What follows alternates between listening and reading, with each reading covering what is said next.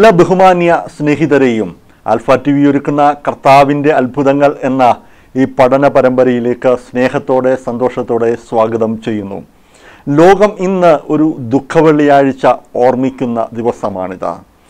മാനവജാതിയുടെ പാപത്തിന്റെ പരിഹാരത്തിന് വേണ്ടി രണ്ടായിരം വർഷങ്ങൾക്ക് മുൻപ് സ്വർഗ മഹത്വം ഉപേക്ഷിച്ച് ദൂതന്മാരുടെ ആരാധന വേണ്ടെന്ന് വെച്ച് ഈ താണഭൂമിയിലേക്ക് വന്ന് കാൽവറിയിലെ ക്രൂശിൽ തന്റെ ജീവനെ മനുഷ്യ വർഗത്തിന്റെ പാപത്തിന്റെ പരിഹാരത്തിന് വേണ്ടി ഏൽപ്പിച്ചു കൊടുത്ത കർത്താവിന്റെ ക്രൂശീകരണത്തെ ലോകം ഇന്ന് ഓർമ്മിക്കുന്നു. ചിലർക്കിത് ഗുഡ് ഫ്രൈഡേ ആണ് നല്ല വെള്ളിയാഴ്ച.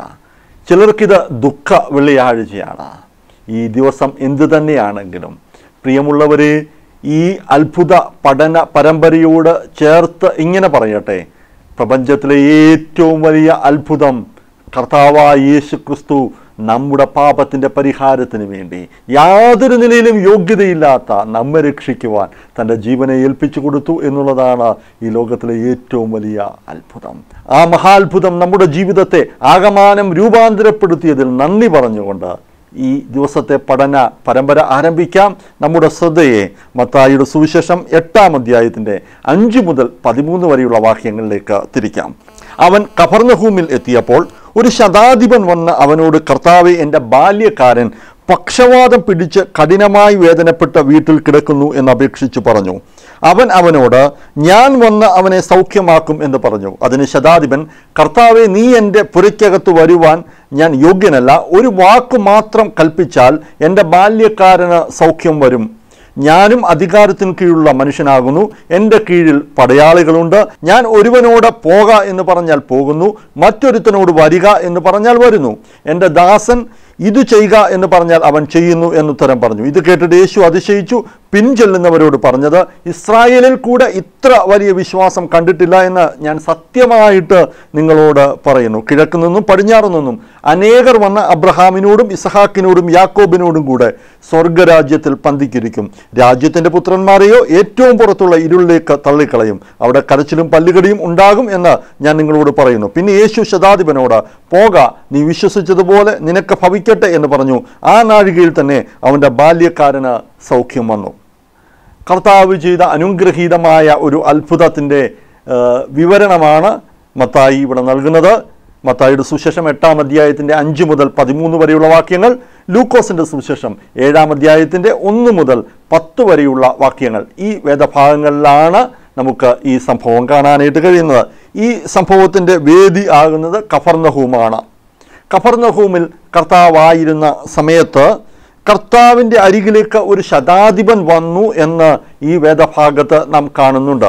എന്നാൽ ലൂക്കോസിന്റെ സുവിശേഷം ഏഴാം അധ്യായത്തിന്റെ ഒന്ന് മുതൽ പത്ത് വരെയുള്ള വാക്യങ്ങൾ നാം ശ്രദ്ധിക്കുമ്പോൾ അവിടെ മറ്റൊരു നിലയിലുള്ള ഒരു വിവരണം നമുക്ക് കാണാനായിട്ട് കഴിയും. അവിടെ നാം ഇങ്ങനെയാണ് വായിക്കുന്നത്. യഹൂദന്മാരുടെ മൂപ്പന്മാരെ ഈ ദാസനെ തന്റെ ദാസനെ രക്ഷിക്കേണ്ടതിന് ഈ ശതാധിപൻ യേശുവിന്റെ അടുക്കൽ അയച്ചു. അവർ യേശുവിന്റെ അടുക്കൽ വന്ന് അവനോട് താല്പര്യമായി അപേക്ഷിച്ചു നീ അത് ചെയ്തു കൊടുപ്പാൻ അവൻ യോഗ്യൻ. അവൻ നമ്മുടെ ജനത്തെ സ്നേഹിക്കുന്നു. ഞങ്ങൾക്ക് ഒരു പള്ളിയും തീർപ്പിച്ചു തന്നിരിക്കുന്നു എന്ന് പറഞ്ഞു. ഇവിടെ നാം കാണുന്നത് യഹൂദ ജനത്തിന്റെ മൂപ്പന്മാർ ഒരു ശുപാർശയുമായി കർത്താവിന്റെ അരികിലേക്ക് വരുന്നു എന്നുള്ളതാണ്. പ്രിയമുള്ളവരെ എത്രയോ വിരോധാഭാസമായ ഒരു കാര്യമാണ് ഇവർ ചെയ്യുന്നത്. ഒരേ സമയം കർത്താവിനെ ക്രൂശിക്കുവാൻ കർത്താവിനെ നശിപ്പിക്കുവാൻ ശ്രമിക്കുന്നവർ ഇവിടെ ഇതാ കർത്താവിന്റെ അരികിലേക്ക് ശുപാർശയുമായി വരുന്ന കാഴ്ച നമുക്ക് കാണാനായിട്ട് കഴിയും.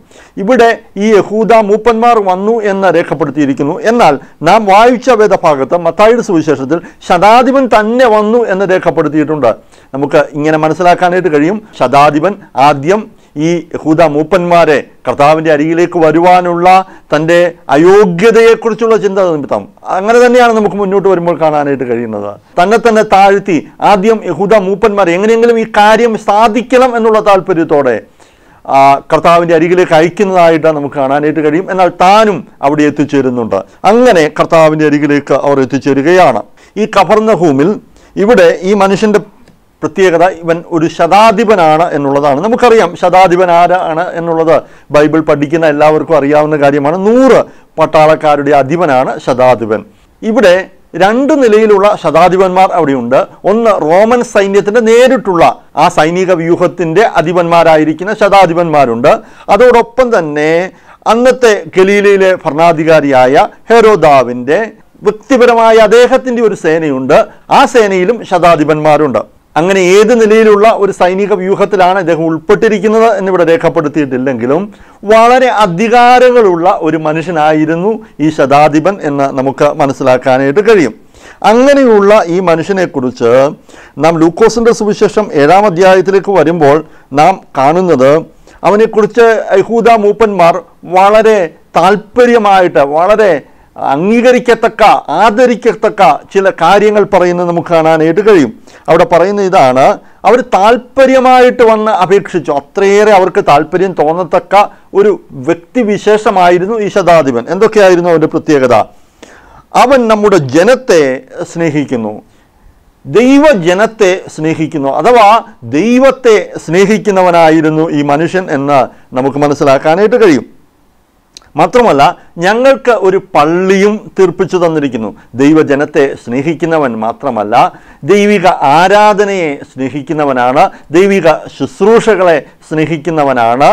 താൻ ഒരു പുറജാതിക്കാരനാണെങ്കിലും ദൈവജനത്തോട് വളരെ ഹൃദ്യമായ ഒരു ബന്ധം പുലർത്തുവാൻ ആഗ്രഹിക്കുന്ന ദൈവജനത്തോട് ചേർന്ന് നിൽക്കുവാൻ ആഗ്രഹിക്കുന്ന അവരുടെ കാര്യങ്ങളിൽ താല്പര്യമുള്ള ഒരു മനുഷ്യൻ എന്ന് പറഞ്ഞാൽ നാം മനസ്സിലാക്കാനായിട്ട് കഴിയുന്ന ഒരു കാര്യം. ദൈവത്തെ സത്യസന്ധമായി മനസ്സിലാക്കുവാൻ ആരാധിക്കുവാൻ വെമ്പൽ കൊള്ളുന്ന ഒരു മനുഷ്യനായിരുന്നു ഈ ശതാധിപൻ എന്ന് നമുക്ക് ചിന്തിക്കാനായിട്ട് സാധിക്കും.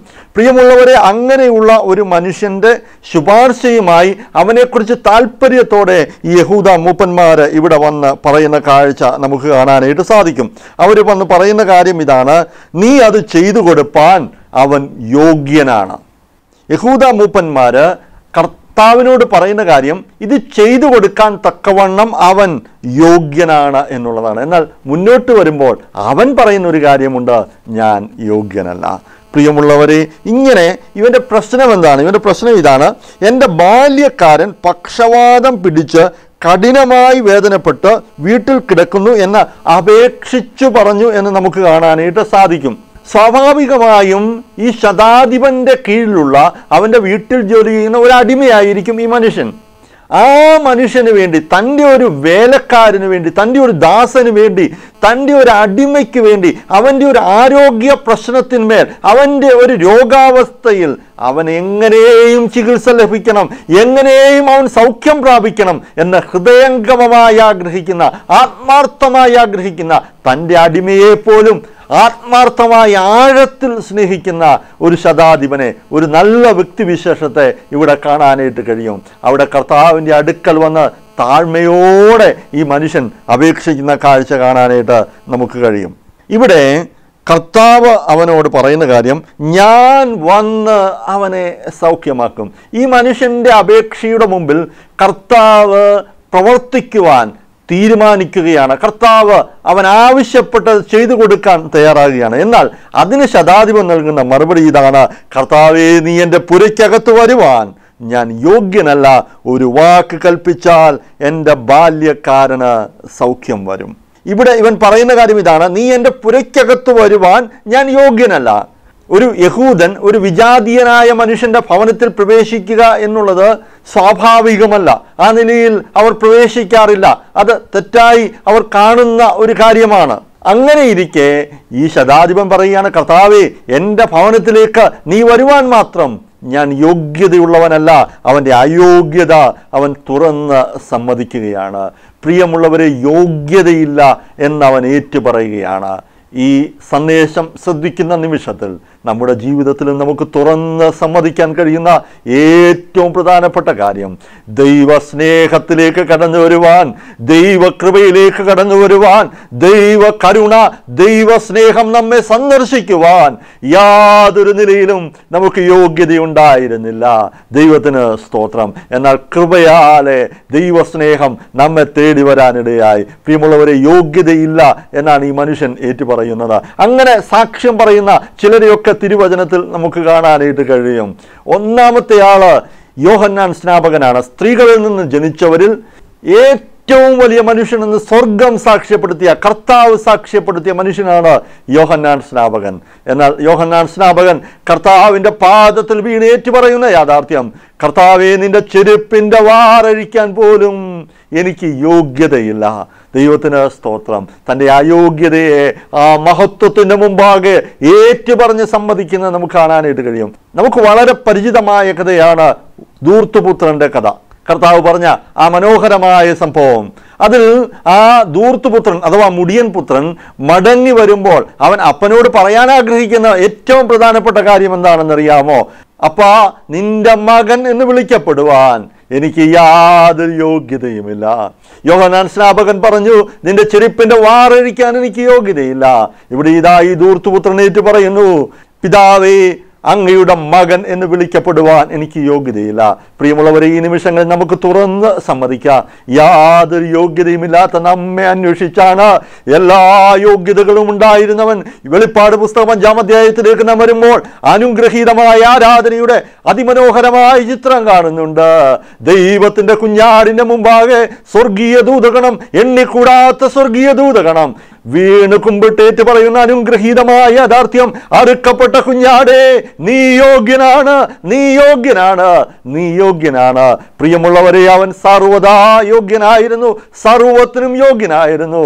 എന്നാൽ യാതൊരു യോഗ്യതയുമില്ലാത്ത നമ്മെ സ്നേഹിച്ചിട്ടാണ് സ്വർഗമഹത്വം ഉപേക്ഷിച്ച് ഉയർന്നും പൊങ്ങിയുമുള്ള സിംഹാസനത്തിൽ നിന്ന് കാൽവറിയിലെ ക്രൂശിലേക്ക് അവൻ താണിറങ്ങി വന്നത്. ഒരു യോഗ്യതയുമില്ലാത്തവനെ പോലെ കണ്ടാളല്ല എന്ന് തോന്നുമാർ ആകൃതി കണ്ടാൽ മനുഷ്യനല്ല എന്ന് തോന്നുമാറ്. അവൻ ക്രൂശിൽ തൂങ്ങിക്കിടക്കുന്നത് നമ്മുടെ അയോഗ്യത നിമിത്തമാണ്. ദൈവത്തിന് സ്തോത്രം. ആ ക്രൂശിന്റെ ചുവട്ടിലേക്ക് ചെന്ന് ഈ നിമിഷങ്ങൾ ഒന്ന് പറയാനായിട്ട് കഴിയുമോ? അറുക്കപ്പെട്ട കുഞ്ഞാടേ അങ്ങാണ് യോഗ്യൻ അങ്ങാണ് യോഗ്യൻ അങ്ങാണ് യോഗ്യൻ. ഈ ശതാധിപൻ ഇവിടെ ഏറ്റു പറയുന്ന കാര്യം എനിക്ക് യാതൊരു യോഗ്യതയുമില്ല. എന്നാൽ നിനക്ക് യോഗ്യതയുണ്ട് കർത്താവെ. നിന്റെ യോഗ്യത എന്താ? നിന്റെ യോഗ്യത ഇവിടെ ശതാധിപൻ ഏറ്റു പറയുന്ന കാര്യം എന്താണെന്നറിയാമോ? ഒരു വാക്ക് മാത്രം കൽപ്പിച്ചാൽ എന്റെ ബാല്യക്കാരന് സൗഖ്യം വരും. ദൈവത്തിന് സ്തോത്രം. കർത്താവിന്റെ പരിമിതികളില്ലാത്ത യോഗ്യതയുടെ മുമ്പാകെ സമ്പൂർണമായി സമർപ്പിക്കപ്പെട്ടുകൊണ്ട് വിനയപ്പെട്ടുകൊണ്ട് താണു കൊടുത്തുകൊണ്ട് ആ മനുഷ്യൻ ഏറ്റുപറയുകയാണ്. കർത്താവെ നീ എല്ലാറ്റിനും യോഗ്യനാണ്. നീ ഒരു വാക്ക് കൽപ്പിച്ചാൽ മതി. നീ നിൽക്കുന്ന ഇടത്ത് നിന്നുകൊണ്ട് നീ ഒരു വാക്ക് കൽപ്പിച്ചാൽ എന്ത് സംഭവിക്കുമെന്നറിയാമോ? നീ പറയുന്ന കാര്യം നടക്കും. അതിന് ഈ മനുഷ്യൻ പറയുന്ന കാര്യം എന്താണെന്നറിയാമോ? അതാണ് ഏറ്റവും പ്രധാനപ്പെട്ട കാര്യം. ഞാനും അധികാരത്തിന് കീഴിലുള്ള മനുഷ്യനാകുന്നു. എന്റെ കീഴിൽ പടയാളികളുണ്ട്. ഞാൻ ഒരുവനോട് പോക എന്ന് പറഞ്ഞാൽ പോകുന്നു. മറ്റൊരുത്തനോട് വരിക എന്ന് പറഞ്ഞാൽ വരുന്നു. എന്റെ ദാസനോട് ഇത് ചെയ്യുക എന്ന് പറഞ്ഞാൽ അവൻ ചെയ്യുന്നു എന്ന ഉത്തരം പറഞ്ഞു. ഇവിടെ ഈ മനുഷ്യൻ പറയുന്ന ഒരു കാര്യമുണ്ട്. കർത്താവ് എന്റെ കീഴിൽ പടയാളികളുണ്ട്. ഞാൻ അവരോട് എന്തെങ്കിലും ആവശ്യപ്പെട്ടാൽ അവർ അത് ശിരസാവഹിക്കുന്നു അനുസരിക്കുന്നു. ഞാൻ തന്നെ പോയി ചെയ്യേണ്ട കാര്യമില്ല. എനിക്ക് അവരെ കൊണ്ട് കാര്യങ്ങളെ ചെയ്യിക്കാൻ കഴിയും. കാരണം ഞാൻ നൂറ് പട്ടാളക്കാരുടെ മീതയുള്ള ഉദ്യോഗസ്ഥനാണ്. എന്റെ കീഴിലുള്ള ഈ നൂറ് പട്ടാളക്കാരോട് ഞാൻ പറഞ്ഞാൽ അവർ ഞാൻ പറയുന്ന കാര്യം അനുസരിക്കും അത് പോയി ചെയ്യും. അതുപോലെ ഈ മനുഷ്യൻ ഏറ്റു പറയുന്ന ഒരു കാര്യമുണ്ട്. കർത്താവെ അങ്ങ് സൈന്യങ്ങളുടെ ഹോവയാണ്. അങ്ങയുടെ അധികാരത്തിന്റെ കീഴിൽ കോടാനു കോടി സ്വർഗീയ ദൂതഗണങ്ങളുണ്ട്. കർത്താവ് അങ്ങ് പോകേണ്ട ആവശ്യമില്ല. അങ്ങ് ഒരു വാക്ക് കൽപ്പിച്ചാൽ മതി. ഒരു സ്വർഗീയ ദൂതനൊന്ന് പോയാൽ മതി. അവനൊന്ന് ചെന്നാൽ മതി. അവനൊന്ന് സ്പർശിച്ചാൽ മതി. കർത്താവേ എന്റെ ബാല്യക്കാരന് സൗഖ്യം വരും. ഈ മനുഷ്യൻ കർത്താവിന്റെ മഹത്വം മനസ്സിലാക്കി. പ്രിയമുള്ളവരെ ഇന്ന് ഈ കാലഘട്ടത്തിൽ നാം തിരിച്ചറിയാതെ പോകുന്ന ഏറ്റവും വലിയ കാര്യം കർത്താവിന്റെ മഹത്വമാണ്. കർത്താവിന്റെ മഹത്വമാണ്. കർത്താവിന്റെ മഹത്വം ശരിയായി മനസ്സിലാക്കുന്ന ഒരു വ്യക്തിയെ സംബന്ധിച്ചിടത്തോളം അവന് മനസ്സിലാക്കാൻ കഴിയുന്ന കാര്യം ഇതാണ്. കർത്താവ് ഒരു വാക്ക് നീ പറഞ്ഞാൽ മതി. ഒരു വാക്ക് നീ കൽപ്പിച്ചാൽ മതി. കാരണം നീ മഹത്വത്തിന്റെ രാജാവാണ്. സങ്കീർത്തനക്കാരൻ ഇരുപത്തിനാലാം സങ്കീർത്തനത്തിൽ ചോദിക്കുന്ന അതിമനോഹരമായ ഒരു ചോദ്യമുണ്ട്. മഹത്വത്തിന്റെ രാജാവ് ആരാണ്? പ്രിയമുള്ളവരെ എത്രയോ നൂറ്റാണ്ടുകൾ ഈ ചോദ്യം ചോദിച്ചിട്ട് കഴിഞ്ഞെന്നറിയാമോ? ഇന്നും ഒരേ ഒരു മറുപടി മറുപടിയെ ഈ പ്രപഞ്ചത്തിന്റെ ഈ ഭൂപരപ്പിന്റെ മുകളിൽ ഉയരുന്നുള്ളൂ. സ്വർഗത്തിലും ഈ ഒരൊറ്റ മറുപടിയെ കേൾക്കുന്നുള്ളൂ. എന്താണ് ആ മറുപടി എന്നറിയാമോ? മഹത്വത്തിന്റെ രാജാവ് ആരാണെന്നറിയാമോ? ബലവാനും യുദ്ധവീരനുമായ ഹോവ അവനാകുന്നു മഹത്വത്തിന്റെ രാജാവ്. നാം സേവിക്കുന്ന ആരാധിക്കുന്ന നാം അനുഗമിക്കുന്ന ആശ്രയിക്കുന്ന കർത്താവല്ലാതെ മറ്റാരും മഹത്വത്തിന്റെ രാജാവില്ല. അവനാണ് സർവമഹത്വത്തിനും യോഗ്യൻ. കർത്താവ് നീ ഒരു വാക്ക് കൽപ്പിച്ചാൽ മതി. ദൈവത്തിന് സ്തോത്രം. ഈ മനുഷ്യന്റെ വിശ്വാസത്തെ കർത്താവ് എത്രത്തോളം ആദരിക്കുന്നുണ്ടെന്നുള്ളത് തുടർന്നുള്ള വാക്യങ്ങളിൽ നമുക്ക് കാണാനായിട്ട് കഴിയും. പ്രിയമുള്ളവരെ നാം കർത്താവിനെ എങ്ങനെയാണോ മനസ്സിലാക്കുന്നത് ആ അളവിൽ തന്നെ പ്രതികരിക്കാൻ താല്പര്യപ്പെടുന്ന ആ താല്പര്യത്തോട് ചേർന്ന് നിൽക്കുന്ന ആ മനുഷ്യന്റെ ഹൃദയ വിചാരങ്ങളോട് ചേർന്ന് നിൽക്കുന്ന ഒരു കർത്താവിനെ നമുക്കിവിടെ കാണാനായിട്ട് കഴിയും. എന്നാൽ കർത്താവ് പറയുന്ന കാര്യം ഇതാണ്. ഇസ്രായേലിൽ കൂടെ ഇത്ര വലിയ വിശ്വാസം കണ്ടിട്ടില്ല എന്ന് ഞാൻ സത്യമായി നിങ്ങളോട് പറയുകയാണ്. പ്രിയമുള്ളവരെ ഇവിടെ കർത്താവ് പറയുന്ന ഒരു കാര്യം. കർത്താവ് അത്ഭുതപ്പെട്ടു പോയി എന്നാണ് നാം ഇവിടെ വായി യേശു അതിശയിച്ചു. കർത്താവിനെ അതിശയിപ്പിക്കുന്ന വിശ്വാസം ഈ മനുഷ്യന്റെ ജീവിതത്തിലുണ്ടായിരുന്നു. അവൻ പറഞ്ഞു കർത്താവ് പറഞ്ഞു ഞാൻ ഇസ്രായേൽ കൂടി ഇങ്ങനെ സഞ്ചരിച്ചു കൊണ്ടിരിക്കുകയാണ്. യഹൂദാ ജനത്തിന്റെ മധ്യത്തിലൂടെ എത്രയോ അടയാളങ്ങൾ ചെയ്തു എത്രയോ അത്ഭുതങ്ങൾ ചെയ്തു. എന്നാൽ അവരിലാരും കാണാത്ത വിശ്വാസം ഇതാ ഈ മനുഷ്യനിൽ ഞാൻ കണ്ടിരിക്കുന്നു. എത്ര അനുഗ്രഹീതമായ സാക്ഷ്യം. പ്രിയമുള്ളവരെ അതിനുശേഷം കർത്താവ് ഒരു കാര്യം പറഞ്ഞു. കിഴക്കു നിന്നും പടിഞ്ഞാറ് നിന്നും അനേകർ വന്ന് അബ്രഹാമിനോടും ഇസഹാക്കിനോടും യാക്കോബിനോടും കൂടെ സ്വർഗരാജ്യത്തിൽ പന്തിക്കിരിക്കും രാജ്യത്തിന്റെ പുത്രന്മാരെയോ ഏറ്റവും പുറത്തുള്ള ഇരുളിലേക്ക് തള്ളിക്കളയും. അവിടെ കരച്ചിലും പല്ലുകടിയും ഉണ്ടാകും എന്ന് ഞാൻ നിങ്ങളോട് പറയുന്നു. ഇവിടെ കർത്താവ് പറയുന്ന ഒരു കാര്യം കിഴക്കു നിന്നും പടിഞ്ഞാറും. ഇവിടെ കർത്താവ് അർത്ഥമാക്കുന്ന എല്ലായിടത്തു നിന്നുമുള്ളവർ അഥവാ സുവിശേഷം സർവലോകത്തിലും പ്രസംഗിക്കപ്പെടുമെന്നും സുവിശേഷം സർവലോകത്തിന് വേണ്ടി ഉള്ളതാണെന്നും രക്ഷ സകലർക്ക് വേണ്ടിയുള്ളതാണെന്നും ജാതി മതവർഗ വർണ വ്യത്യാസം കൂടാതെ സകല മനുഷ്യരും ദൈവകൃപ കണ്ടെത്തുമെന്നും അങ്ങനെ സംഭവിക്കുമ്പോൾ രാജ്യത്തിന്റെ പുത്രന്മാർ ഈ സുവിശേഷത്തെ വേണ്ട എന്ന് വെച്ച ഇസ്രായേൽ ജനം അതാണ് രാജ്യത്തിന്റെ പുത്രന്മാർ. രാജാവ് ചെന്ന് ദൈവരാജ്യത്തെക്കുറിച്ച് അവരോട് പ്രസംഗിച്ചു. എന്നാൽ അവർ അനുസരിച്ച് മാനസാന്തരപ്പെട്ട് ഈ സുവിശേഷത്തിൽ വിശ്വസിക്കാൻ തയ്യാറായില്ല. അതുകൊണ്ട് എന്ത് സംഭവിക്കുമെന്നറിയാമോ? അവരേറ്റവും പുറത്തുള്ള ഇരുളിലേക്ക്. നാശമാണ് അവരെ കാത്തിരിക്കുന്നത്. ഇരുൾ കരച്ചിൽ പല്ലുകടി ഇതെല്ലാം സൂചിപ്പിക്കുന്നത് നിത്യനരകത്തിന്റെ അവസ്ഥയാണ്.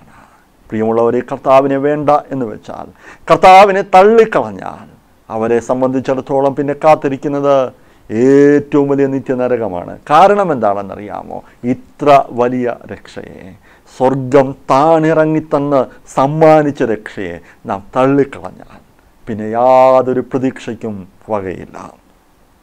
അതിനുശേഷം ഇക്കാര്യം പറഞ്ഞതിന് ശേഷം കർത്താവ് പറയുന്ന കാര്യം എന്താണെന്നറിയാമോ? പിന്നെ യേശു ശതാധിപനോട് പോക നീ വിശ്വസിച്ചതുപോലെ നിനക്ക് ഭവിക്കട്ടെ എന്ന് പറഞ്ഞു.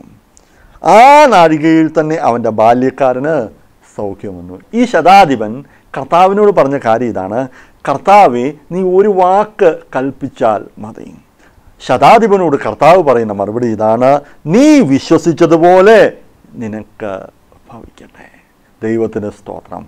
ശതാധിപന്റെ ഹൃദയത്തിലെ വിശ്വാസത്തിന്റെ ആഴം തിരിച്ചറിഞ്ഞ കർത്താവ് അവന്റെ വാക്ക് പോലെ സംഭവിക്കട്ടെ. എന്താണ് അവന്റെ വാക്ക്? എന്താണ് അവൻ വിശ്വസിച്ചത്? അവൻ വിശ്വസിച്ച കാര്യം ഇതാണ്. നീ ഒരു വാക്ക് കൽപ്പിച്ചാൽ മതി. പ്രിയമുള്ളവരെ ആ വിശ്വാസം ഇന്ന് നമ്മുടെ ജീവിതത്തിലുണ്ടാവും കർത്താവ് പറയുന്നു നീ വിശ്വസിച്ചതുപോലെ തന്നെ നിനക്ക് സംഭവിക്കട്ടെ. ദൈവത്തിന് സ്തോത്രം. അവൻ വിശ്വസിച്ചതുപോലെ സംഭവിച്ചു. എന്ത് സംഭവിച്ചു? ആ നാഴികയിൽ. കർത്താവ് അവനോട് പറഞ്ഞ അതേ നിമിഷം തന്നെ ദൂരെ ഈ ശതാധിപന്റെ ഭവനത്തിൽ താമസിക്കുന്ന അവന്റെ ബാല്യക്കാരന് അവന്റെ ദാസന് സൗഖ്യം വന്നു. ഇവിടെ കർത്താവ് വെളിപ്പെടുത്തുന്ന അനുഗ്രഹീതമായൊരു യാഥാർത്ഥ്യം. ദൂരത്തിന്മേൽ അധികാരമുള്ളവൻ അവനാണ്. സമയത്തിന്മേൽ അധികാരമുള്ളവൻ അവനാണ്. പ്രിയമുള്ളവരെ അവൻ സർവശക്തിയുള്ള ദൈവമായ കർത്താവാണെന്ന് ഏത് സ്ഥലത്തിരുന്നും എങ്ങനെയും പ്രവർത്തിക്കുവാൻ ഏത് നിലയിലുള്ള സൗഖ്യവും കൊടുക്കുവാൻ കഴിയുന്നവനാണെന്ന് കർത്താവിത ഇവിടെ വെളിപ്പെടുത്തുകയാണ്. എങ്ങനെയാണ് കർത്താവ് ഇത് വെളിപ്പെടുത്തിയത്? ഈ ശതാധിപന്റെ വിശ്വാസത്തെ കർത്താവ് ആദരിച്ചു. ആദരിക്കപ്പെടുന്ന ഒരു വിശ്വാസം ശതാധിപനുണ്ടായിരുന്നു. അതുകൊണ്ട് എന്ത് സംഭവിച്ചു? ശതാധിപന്റെ ജീവിതം രൂപാന്തരപ്പെടുവാൻ ഇടയായി. പ്രിയമുള്ളവരെ ശുപാർശയുമായി വന്ന യഹൂദ മൂപ്പന്മാരെ നാം ഇവിടെ കാണുന്നില്ല. കർത്താവിനെ കുറ്റവിചാരണ ചെയ്യാൻ നിന്ന കൂട്ടത്തിൽ യഹൂദ മൂപ്പന്മാരും ഉണ്ടായിരിക്കാം. അവർക്ക് ഈ നല്ല ദൈവകൃപ കണ്ടെത്താനായിട്ട് കഴിഞ്ഞില്ല. എന്നാൽ ഈ ശതാധിപന്റെ വിശ്വാസത്തെ സ്വർഗം. ആദരിച്ചു. ഈ നിമിഷങ്ങളിൽ ദൈവ സാന്നിധ്യത്തിലേക്ക് അടുത്തു വരുമ്പോൾ കർത്താവ് നമ്മോട് പറയുന്നു നിന്റെ വിശ്വാസത്തിന്റെ വലിപ്പം എത്രത്തോളമാണ്. നീ വിശ്വസിച്ചതുപോലെ നിനക്ക് ഭവിക്കട്ടെ. ശതാധിപന്റെ വിശ്വാസം ഇതായിരുന്നു. കർത്താവെ നീ ഒരു വാക്ക് കൽപ്പിച്ചാൽ മതി. എന്നെ ശ്രദ്ധിക്കുന്ന ബഹുമാന്യ ജീവിതമേ അവൻ ഒരു വാക്ക് കൽപ്പിച്ചാൽ മതി കേട്ടോ. ജീവിതത്തെ രൂപാന്തരപ്പെടും. ജീവിതത്തിന് മാറ്റമുണ്ടാകും. നീ കടന്നു പോകുന്ന സാഹചര്യം എന്തു തന്നെയാണെങ്കിലും കർത്താവിന്റെ വാക്കിന് നീ അനുസരിച്ചാൽ. കർത്താവിന്റെ വാക്ക് നിന്റെ ജീവിതത്തിൽ മുഴങ്ങി വന്നാൽ. കർത്താവിന്റെ ശബ്ദം നീ കേട്ടാൽ നിന്റെ ജീവിതം രൂപാന്തരപ്പെടും. ഒരത്ഭുതമായി നിന്റെ ജീവിതം മാറും. അതിനായിട്ട് ഈ ലളിതമായ ചിന്തകൾ മുഖാന്തരമാകട്ടെ. സ്വർഗീയ ദൈവം സമൃദ്ധമായ നന്മകളാൽ കൃപകളാൽ നിങ്ങളെ നിറയ്ക്കട്ടെ. ദൈവനാമം മഹത്വപ്പെടുമാറാകട്ടെ.